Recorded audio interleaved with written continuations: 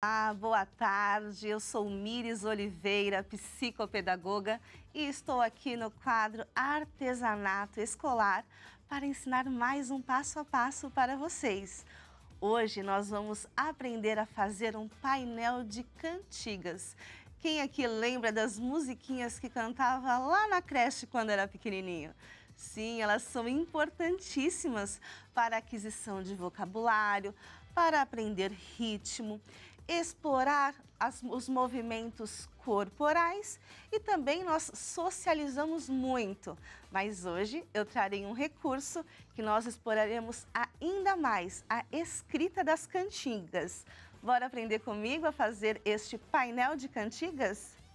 Os materiais que nós vamos utilizar são bem simples e eu quero muito que todos façam e depois nos marquem, tanto o programa quanto o meu Instagram. Lembrando, o recurso que nós vamos aprender hoje dá para utilizar para as crianças que estão lá na pré-escolar, pré né, na creche, na educação infantil, tanto para as crianças que estão em período de alfabetização. Vamos anotar os itens que vocês vão precisar? O primeiro, papel Paraná. Eu sempre utilizo ele, pois ele dá uma estrutura muito importante para estes recursos. Papel adesivo transparente, papel fotográfico transparente, pois alguns moldes nós temos que imprimir neste papel. Mas se você não tem, fica tranquilo. Numa sulfite com alguma fita larga, você consegue o mesmo resultado. Vamos precisar de alguns envelopes. Eu já trouxe envelopes prontos, mas dá para fazer em casa também. Os moldes que eu vou disponibilizar para todas as pessoas que entrarem em contato comigo via o Instagram. E tesoura, estilete, fita adesiva, muito simples, né? Ah, e esse, esse, essa peça, este recurso vai trazer uma tecnologia. Vou mostrar para vocês. Mas vamos começar pela estrutura. Inicialmente, para fazer o painel das cantigas, nós iremos precisar de três, três papéis desse, que é o papel Paraná, para fazer a base, a estrutura do nosso painel, tá? Lembrando, se não tiver, pode utilizar caixa de papelão, pode pedir para o vizinho, para o mercado do lado.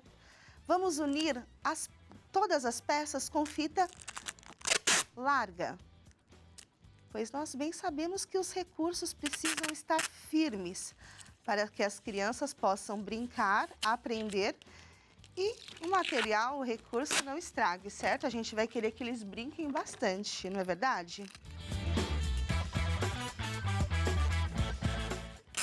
Esse momento chama a criançada para segurar a fita, hein?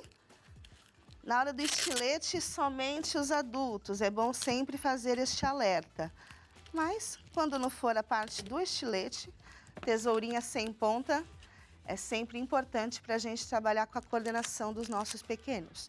Ah, dica importante, é bom vocês deixarem um espaço entre uma peça de papel da outra, pois assim a gente vai conseguir fazer o um movimento que eu já mostro para vocês como ficará o recurso.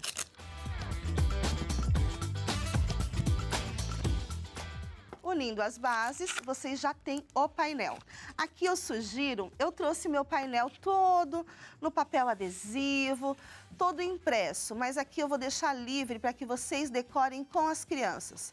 Recorte, bolinha de EVA, uh, pode pintar com tinta guache, então essa é a estrutura.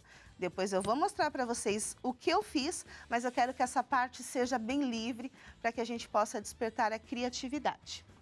Neste momento, a gente vai colocar, nós vamos precisar de seis, tá? Seis envelopinhos. Nós vamos distribuir dois em cada base. Porque nestes envelopes nós colocaremos as letras das cantigas.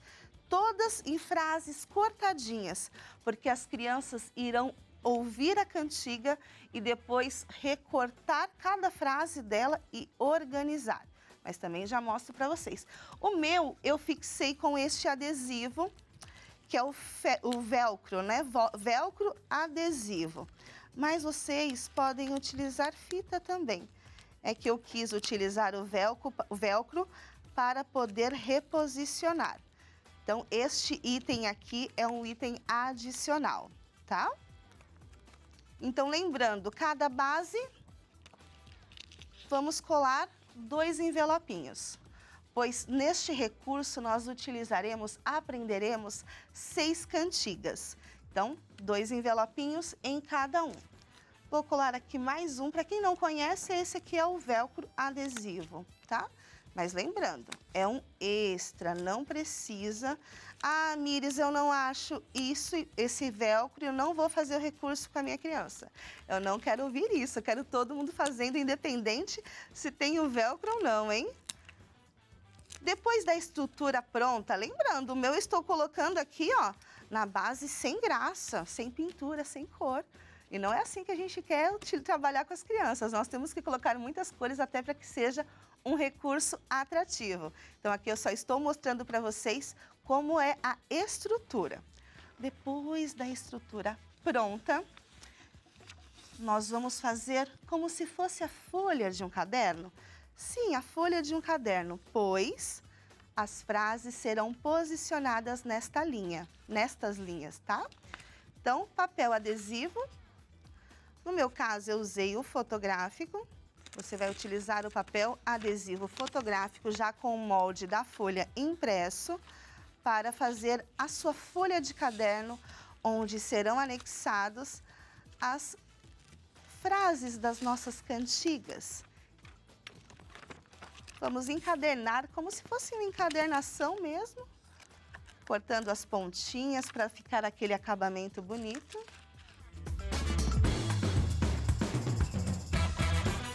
Eu sempre gosto de começar pelas laterais mais grossas. Outra dica aí, ó, dobra uma pontinha. Em casa você faz tranquilamente, corta, deixa todas as linhas, as, as faixas do mesmo tamanho. Mas olha, não interfere em nada do resultado do nosso recurso. Folhinha de caderno pronta.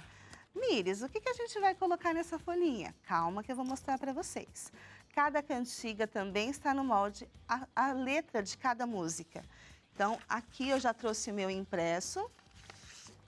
Vou mostrar para vocês a do sapo não lava o pé. Todas já estão em tirinhas e fora de ordem, porque o intuito desta, deste recurso é fazer com que as crianças escutem a música e ordenem as frases de acordo com a letra eu sugiro que na hora de imprimir as frases também imprime papel mais grossinho. Eu utilizo o de 180 gramas.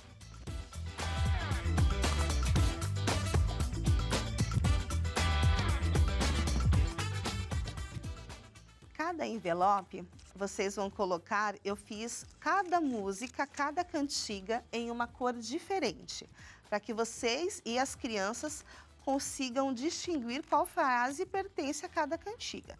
Então, neste primeiro envelope, vamos colocar todas as frases da cantiga do sapo não lava o pé.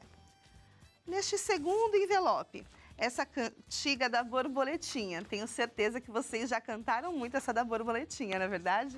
Vamos recortar todas e colocar no, no envelope seguinte. Agora eu vou mostrar para vocês o recurso já finalizado seis envelopes, seis cantigas diferentes. Mas este recurso tinha que ter uma interação, certo? Para isso, eu também coloquei nos moldes o QR Code de cada cantiga, onde vocês poderão, com o celular, ouvir a música antes de começar a atividade no painel. Então, olha só, as cores combinam. Então, a musiquinha laranja, o QR Code laranja a musiquinha verde, o QR Code verde. Depois de ouvir, a criança pegará todas as palavrinhas, todas as frases e ela terá nesta folhinha que ordenar. Este é o recurso que eu trouxe para vocês hoje e para terem acesso aos moldes do painel de cantigas, entre em contato comigo lá no Instagram arroba psicopedagoga Mires e me mandem uma, uma mensagem via direct. Até a próxima!